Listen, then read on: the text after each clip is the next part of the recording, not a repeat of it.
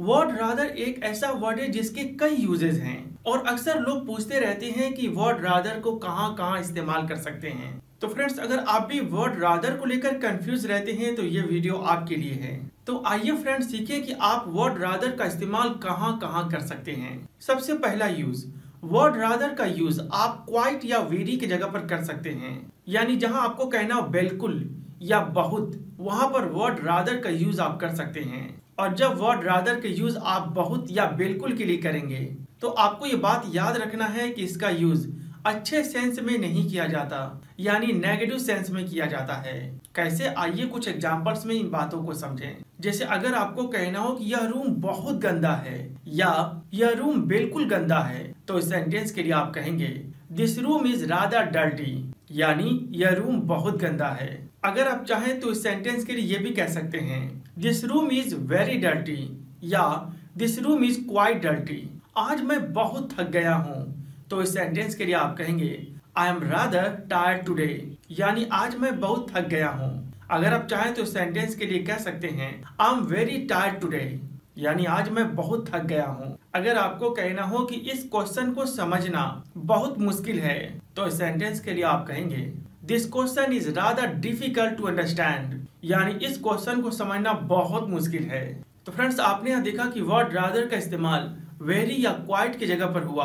और इन सभी सेंटेंसेज में वर्ड रादर का यूज़ आप नेगेटिव सेंस में किए, यानी नापसंद के सेंस में किए। आइए वर्ड रादर का दूसरा इस्तेमाल देखते हैं। जब वर्ड रादर के पहले और लिखा जाता है तो इसका मतलब होता है बल्कि। और इस वर्ड का यूज़ हम तब करते हैं जब हम अपनी बातों को करेक्ट कर लें, या अपनी बातों को प्रिसाइज कर लें। जैसे कई बार आप किसी से बात करते हैं और आपको लगता है कि आपने कुछ गलत बोल दिया तो आप तुरंत अपनी बातों को करेक्ट कर लेते हैं। तो यहाँ अपने बातों को करेक्ट करने के लिए आप बोलते हैं और राधर जैसे कई बार आप किसी दुकानदार से कहते हैं, एक किलो चीनी देना, बल्कि दो किलो।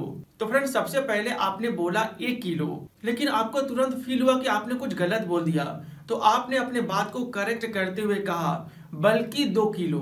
तो यहाँ बल्कि के लिए आप बोलेंगे और राधर जैसे give me one K G sugar or rather two K G यानी एक किलो चीनी देना, बल्कि दो किलो। मेरे पास एक मोबाइल है, बल्कि दो मोबाइल है। तो इस सेंटेंस के लिए आप कहेंगे I have a mobile or rather two mobiles दो लोग थे, बल्कि तीन लोग थे। तो इस सेंटेंस के लिए आप कहेंगे there were two man or rather three man मैंने एक टॉफी खाया, बल्कि दो टॉफी खाया। तो इस सेंटेंस के लिए आप कहेंगे आई एट अ टॉफी और राधर टू टॉफीज तो फ्रेंड्स वर्ड और राधर का इस्तेमाल तब करते हैं जब हम अपनी बातों को करेक्ट कर लें, या जब हमें ये लगे कि मैंने पहले कुछ गलत बोल दिया है और उसे सुधार कर मुझे कुछ नया बोलना है या कुछ दूसरा बोलना है, आइए फ्रेंड्स रादर का तीसरा यूज़ देखें। अक्सर लर्नर इस बात को लेकर कंफ्यूज रहते हैं कि रादर देन और इंस्टीड ऑफ़ में क्या फ़र्क है, क्योंकि इन दोनों का मतलब होता है के बजाय। लेकिन वो नहीं समझ पाते हैं कि कब हमको कहना है रादर देन और कब हमें कहना है इंस्टीड ऑफ़ तो आइए फ्रेंड्स उनकी कंफ्यूजन को खत्म करते हैं। रादर देन और इंस्टीड ऑफ़ दोनों का मतलब होता है के बजाय। लेकिन इन दोनों वर्ड्स में दो फ़र्क है। पहला वर्ड रादर देन का यूज़ हम तब करते हैं जब हम बात पसंद की करें, यानी प्रेफरेंस की करें। वहीं हम इंस्टीड ऑफ़ का यूज़ तब करते हैं जब हमें सिंपली ये कहना हो कि इसके बजाय वो। यानी कहने का मतलब है कि रादर देन में पसंद वाली बात होती है। लेकिन इंस्टीड ऑफ़ में पसंद वाली बात नहीं होती, यानी प्रेफरेंस नहीं होती। और दूसरा और बहुत इंपॉर्टेंट फ़र्क ये होता है कि रादर देन के बाद आने वाला वर्ब उसी फॉर्म में होनी चाहिए, जिस फॉर्म में रादर देन के पहले वर्ब आया हुआ है। यानी अगर रादर देन के पहले आईएनजी फॉर्म है तो रादर देन के बाद भी आईएनजी फॉर्म होनी चाहिए। इस बात को याद रखना आपके लिए बेहद ज़रूरी है कि आप रादर देन के बाद आने वाला वर्ब उसी फॉर्म में लिखें। जिस फॉर्म में रादर देन के पहले आया हुआ वर्ब है। लेकिन अगर हम बात इंस्टीड ऑफ़ की करें तो इंस्टीड ऑफ़ के साथ ऐसा नहीं है। यानी इंस्टीड ऑफ़ के पहले आया वर्ब जिस फॉर्म में है, ज़रूरी नहीं कि इंस्टीड ऑफ़ के बाद आने वाला वर्ब उसी फॉर्म में हो। लगता है आप समझे नहीं।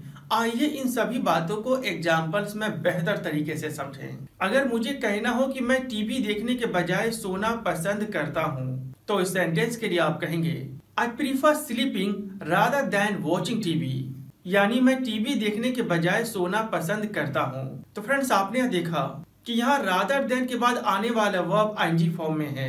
क्योंकि रादर देन के पहले आने वाला वर्ब भी आईएनजी फॉर्म में है। तो ये बात काफ़ी मायने रखती है कि अगर आप रादर देन का इस्तेमाल करेंगे तो रादर दैन के बाद आने वाला वर्ब उसी फॉर्म में हो, जैसा रादर देन के पहले आया हुआ वर्ब है। यानी दोनों का फॉर्म एक ही होना चाहिए। आइए एक एग्ज़ाम्पल इंस्टीड ऑफ़ पर देखें। अगर आपको कहना हो कि टीवी देखने के बजाय मैं सो गया तो इस सेंटेंस के लिए आप कहेंगे I slept instead of watching TV यानी टीवी देखने के बजाय मैं सो गया। तो फ्रेंड्स आपने देखा कि इंस्टीड ऑफ़ के बाद आने वाला वर्ब आईएनजी फॉर्म में है। लेकिन इंस्टीड ऑफ़ के पहले आया वर्ब आईएनजी फॉर्म में नहीं है। यानी यहाँ रादर देन के जैसे, ये बात ज़रूरी नहीं कि इंस्टीड ऑफ़ के बाद आने वाला वर्ब उसी फॉर्म में हो, जैसा रादर देन के पहले आया हुआ वर्ब है। ऐसा करना ज़रूरी नहीं है। मैं बेकार बैठने के बजाय काम करना पसंद करता हूँ। तो सेंटेंस के लिए आप कहेंगे I prefer working rather than sitting idle यानी मैं बेकार बैठने के बजाय काम करना पसंद करता हूँ। फ्रेंड्स, यहाँ आपने देखा कि राधा दैन के बाद मैंने बोला आईजी फॉर्म क्योंकि राधा दैन के पहले आया है आईजी फॉर्म लेकिन अगर मुझे कहना हो बेकार बैठने के बजाय मैं काम करता हूँ तो इस सेंटेंस के लिए आप कहेंगे I work instead of sitting idle यानी बेकार बैठने के बजाय मैं काम करता हूँ। यहाँ आपने देखा इंस्टीड ऑफ़ के बाद मैंने बोला आईजी फॉर्म लेकिन इंस्टीड ऑफ़ के पहले मैंने आईजी फॉर्म नहीं बोला, क्योंकि इंस्टीड ऑफ़ के बाद अगर आईजी फॉर्म आया है तो ज़रूरी नहीं कि इंस्टीड ऑफ़ के पहले भी आईजी फॉर्म आए तो फ्रेंड्स उम्मीद करता हूँ कि आपने इस बात को अच्छा से समझा कि राधर देन और इंस्टीड ऑफ़ में क्या फ़र्क है। कैसे बोलना है राधर देन और कैसे बोलना है इंस्टीड ऑफ़ यहाँ मैं आपको बता दूँ कि ऐसे सैकड़ों लेसन जानने के लिए आप मेरे एप्लीकेशन को इंस्टॉल कर सकते हैं, जिसका लिंक मैंने डिस्क्रिप्शन में दिया हुआ है। फिर मिलेंगे कुछ और अच्छा लेसन के साथ, तब तक के लिए बाय